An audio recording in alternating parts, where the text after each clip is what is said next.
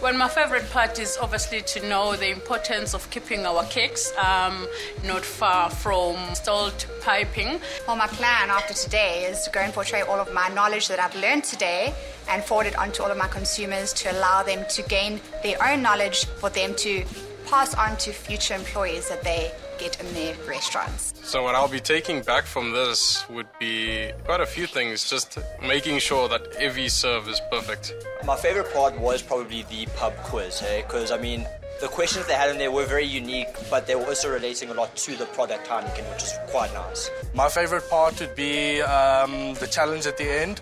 They made everyone do their own pouring, and we all competed against each other as a group of friends, eh? and it was absolutely amazing to come together as a team and be a part of Heineken. Like I didn't know anything. I didn't know about the like that could do the the techniques that we did was could do so much to influence a customer or influence how the bar, how the bar works or how, how you run an actual bar.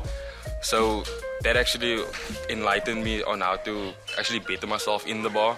Guys were very energetic. They they obviously refreshed everyone's mind. My favorite part of today so far is learning how to pour the beer and pour it perfectly.